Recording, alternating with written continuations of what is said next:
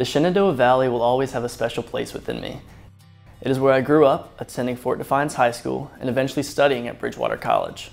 While at Bridgewater College, I was able to take several classes covering real estate finance and investments, which ignited my passion to pursue a real estate career.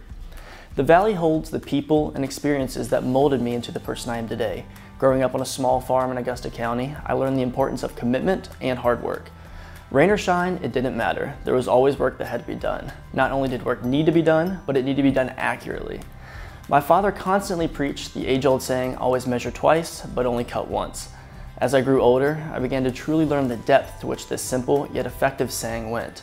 It means to think before you act and not rush into actions blindly, to take your time and do whatever it is right the first time so you don't have to do it a second time. As a real estate professional, this saying still holds true to my values and to my work ethic.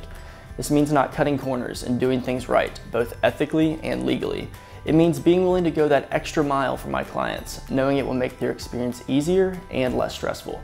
I believe that honesty and integrity are two of the most foundational principles one person has, and I want to demonstrate these beliefs to my clients.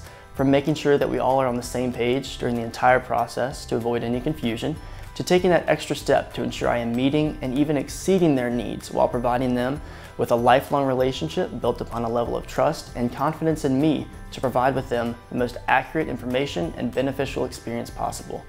The Paul Whatley team holds these similar values. The team believes in putting their clients' interests first 100% of the time and fully encapsulating the Kline May Realty legacy of service, not sales. My name is Nick Kiser of the Paul Whatley team at Kline May Realty, and I look forward to talking with you about your real estate goals and how I can help you achieve them.